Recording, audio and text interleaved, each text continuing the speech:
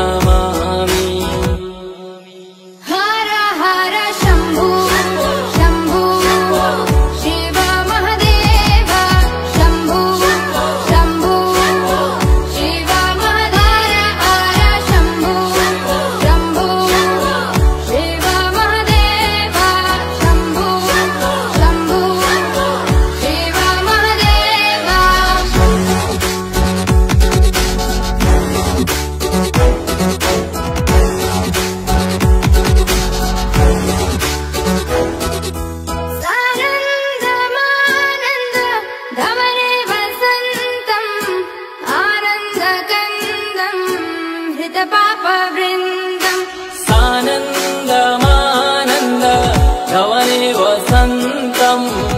आनन्दकन्दम् हृतपापन्द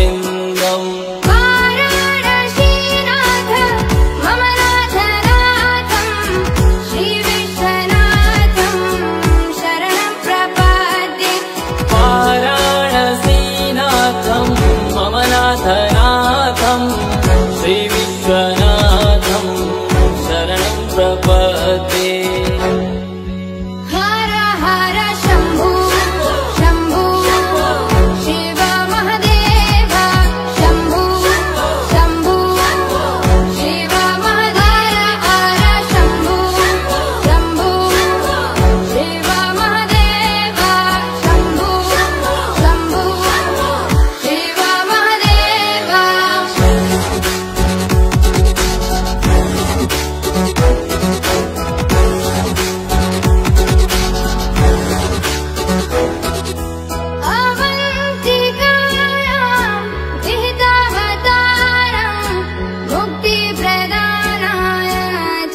touch and I